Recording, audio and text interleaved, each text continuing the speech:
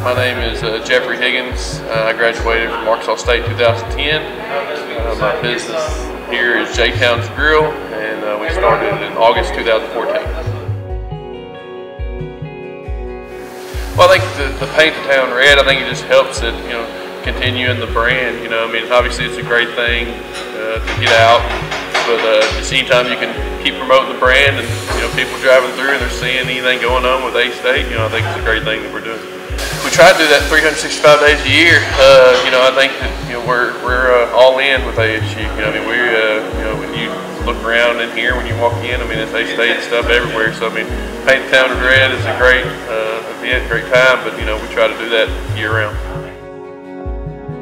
It's easy to say the last you know uh, eight or nine whatever years of success, but I mean you know, I think truly to be able to get to that point would have to go back thinking about, you know, my parents bringing us to the games, little kids, you know, because I think that without them ever bringing us to that, I wouldn't have these new memories. So I'm going to have to say that the, probably the best memories, most cherished memories of uh, us as kids is coming to the game. Like you said, you know, with parents, you, you know, they come, they want to feel where their kids are going, you know, the, the community's bought into it, that, you know, they care about their kids too, you know, so I mean, that's the thing is, you know, we're, we're proud to help, you know, anytime there's recruits in to, show that you know we're right across the street. You know, it's a good, clean, safe family environment. That you know, your kids are in school, they got an option to come to, and that they also know that the community's bought into.